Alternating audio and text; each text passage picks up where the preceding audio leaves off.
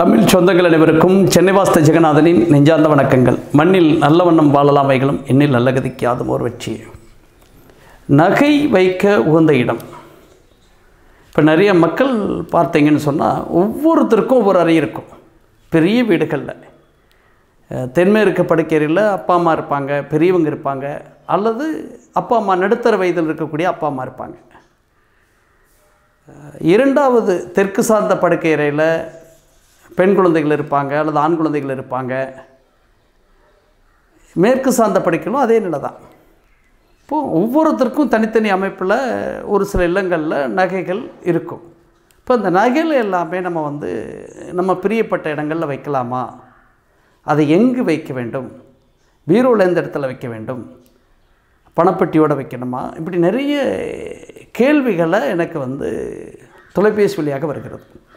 அவர்களுக்கு சொல்லக்கூடிய என்னுடைய பதில் என்னென்னா நான் வந்து யூடியூப் வழியாக நான் சொல்லிடுறேங்க. ஒவ்வொருத்தருக்கும் தனித்தனியாக நம்ம பேசிகிட்டு இருக்கிறது வந்து எனக்கு பேச்சு எல்லா இடங்களையும் பேசக்கூடிய நிலை. அப்போ வந்து அதை பேச முடியாதுங்க. என்னுடைய ஒரு இன்சான் உணவுக்கு சிறுசை பிரதானம்னு சொல்கிற மாதிரி உடல் உறுப்புகள் சரியாக இருந்தால் தான் ஒரு இடத்துல வந்து நம்ம வந்து சரியாக முடியாது அது ஒரு அதிக அளவில் அந்த உடல் உறுப்பு உடல் உறுப்புகளை நம்ம வேலை வாங்கும் பொழுது அந்த உறுப்புகள் சார்ந்த பாதிப்புகள் ஒவ்வொரு மனிதருக்கும் உண்டு. அந்த வகையில் அதிகமாக நான் வந்து பேச மாட்டேங்க. உங்களுடைய பதில்களை இந்த தமிழ் கூறும் நல்லொழுக்கம் அனைவருமே தெரிந்து கொள்ளும் வகையில் நம்ம வந்து அதை வந்து என்னுடைய யூடியூப் வழியாக சொல்லிவிடுகிறேன் அப்படின்னு சொல்லியிருக்கிறேன் அந்த வகையில் தான் இந்த பதிவு.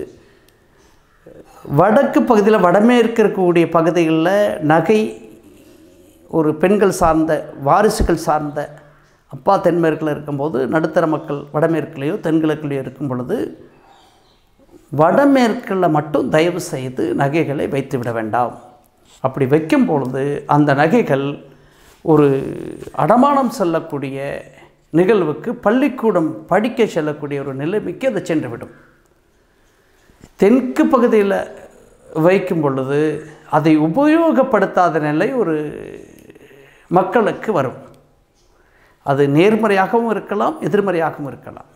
இப்போ சரியான இடம் எதுன்னு சொன்னால் என்னை பொறுத்தளவில் வாஸ்து ரீதியாக தென்மேற்கு பகுதி இருக்கக்கூடிய அனைத்து எந்தெந்த அறையில் மக்கள் இருந்தாலும் மொத்தமாக கஜானா அப்படிங்கிற ஒரு விஷயம் பண்டாரம் என்கிற விஷயம் கருவூலம் என்கிற விஷயம் ஒரு இல்லத்திற்கு.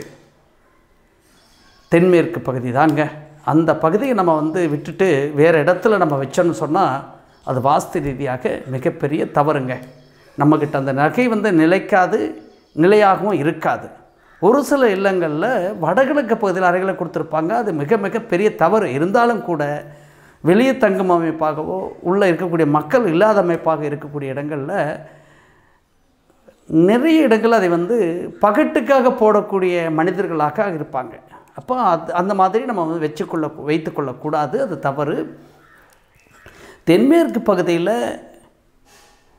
மொத்தமாக ஒரு மரப்பெட்டி செய்து அந்த மரப்பெட்டிக்கு உள்ளாக ஒரு ரேக்கில் அனைத்து நகைகளையும் சிகப்பு கலர் பேப்பரோ மஞ்சள் கலர் பேப்பரோ அல்லது துணிகளோ வைத்து அதன் மேல் ஒன்றன் மேல் ஒன்றாக நகைகள் உரையாத அமைப்பில் ஒன்று ஒன்று உரையக்கூடாது தங்கத்தை பொறுத்தளவுக்கு மிக எளிதான லேசாக இருக்கக்கூடிய லகுவாக இருக்கக்கூடிய ஒரு ஒரு உலோகம். இப்போ தங்கத்தை வந்து மற்ற உ- பொருள்களோடு உழையும் பொழுது அதுக்கு ஒரு தீங்கு ஏற்படும். இப்போ தங்கம்னு சொன்னாலே குருவாக பார்க்குறோம். இப்போ குருவோட யாருமே வந்து குருவுக்கு இணையானவங்க யாரும் கிடையாது. அப்போ அப்படி இருக்கின்ற பட்சத்தில் நம்ம வந்து தங்கத்தை தனியாகத்தான் வைக்க வேண்டும். ஒரு சில இல்லங்களில் எக்காரணம் கொண்டும் நகைகளை வந்து நம்ம வந்து வங்கிகளில் அடமானம் வச்சுருப்போம். அதை முடிந்த அளவுக்கு நம்ம தவிர்க்க பார்க்க வேண்டும். என்ன காரணத்துக்காக வைக்கிறோம்? அடமானம் என்பது என்ன? ஒரு நிகழ்வுக்கு இதை வைத்து அதை பிடிக்கலாம் என்ற ஒரு செயலுக்கு நம்ம போகிறோம் ஏதாவது ஒரு சூழ்நிலையில் அதை தவறிவிடும் பொழுது பட்டியை கட்டி கொண்டு இருக்கக்கூடிய ஒரு சூழ்நிலையே ஆகிவிடும். அப்புறம் அந்த கடன் அணைக்கிறக்கா மைத்திர முகத்தை பார்க்குறதும் நல்ல நேரங்களை பார்க்குறதும் கோயிலுக்குள்ளே அலைகிறதும் இதெல்லாம் அடுத்த கட்ட பயணமாக ஒரு மனிதர்களுக்கு நிகழ்ந்து விடும். அப்போ முடிந்த அளவுக்கு அதை வந்து நீங்கள் வந்து வைக்க வைக்கக்கூடாதுங்கிற மனநிலையை வளர்த்துக்கொள்ளுங்கள் நிச்சயமாக அது வந்து வங்கிக்கு அடமானத்திற்கு செல்லாது என்பது என்னுடைய கருத்து. எது எப்படி இருந்தாலும் ஒரு இரும்பு பெட்டி இருக்கிறது என்று சொன்னால் அதில் ஒரு மரப்பெட்டி அதற்காக செய்து தனியாக ஒரு ரேக்கில் நீங்கள் வைத்துக்கொள்ள வேண்டும். இல்லை என்று சொன்னால் ஒரு மரப்பெட்டி தான் பணப்பெட்டியாக நகைப்பெட்டியாக இருக்க வேண்டும். பெரிய அளவில். மீண்டும் ஒரு நல்ல கருத்தோடு சந்திப்போம். நன்றி வணக்கம்.